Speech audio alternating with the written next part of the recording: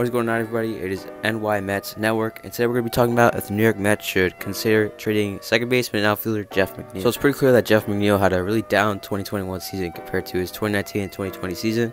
In 2019, he had a 318 batting average, an on-base percentage of 384, and a slugging percentage of 531.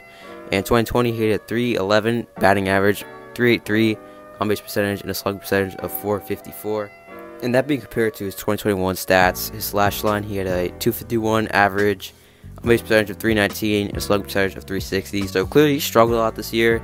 And if I'm being honest, I feel like he went straight downhill after the whole Lindor and uh, Jeff McNeil incident at second base. Um, and I feel like Lindor kind of put a lot of pressure on McNeil. I'm not blaming. I don't. We don't know the whole situation, but what I'm trying to say is I feel like ever since that happened, McNeil just went straight downhill. He wasn't his same self. He wasn't hitting, you know, anywhere near 290. You know, he was just struggling. And uh, taking that into consideration, he's still better than the other options the Mets have to offer to trade.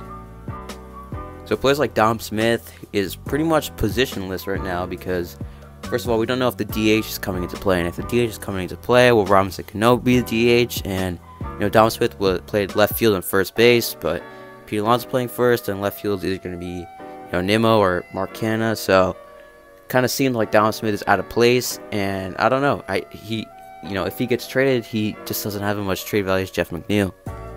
Another person who could be traded is JD Davis, and JD Davis just had a really pretty bad uh, pretty bad 2021 season.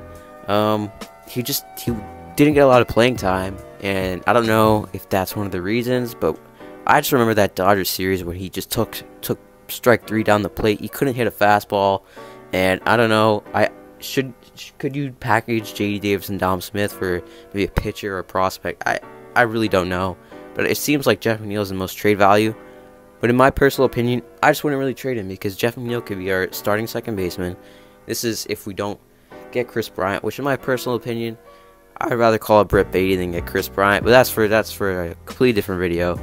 Um, I can still see Jeff McNeil being a valuable second baseman. There's obviously still things, there are probably still things between McNeil and Lindor, but if they can figure that out, I, I, I really think McNeil can have a bounce back season, especially after looking at his 2019 and 2020 seasons. He just had a, a down 2021, and I truly think that he could bounce back. But let me know what you guys think in the comments down below.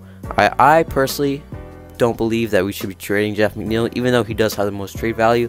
I think the Mets could still go after maybe Carlos Rodon or someone else, another free agent, uh, for a number three starting pitcher after having DeGrom and Scherzer. We'll see what happens. Um, the lockout is currently still on as I am recording this video. So let me know what you guys think down below, and make sure to like, comment, subscribe if you enjoyed the video, and I'll see you in the next one. I thought it was actually a possum. So, uh, you know, not not a not a raccoon, a, a possum.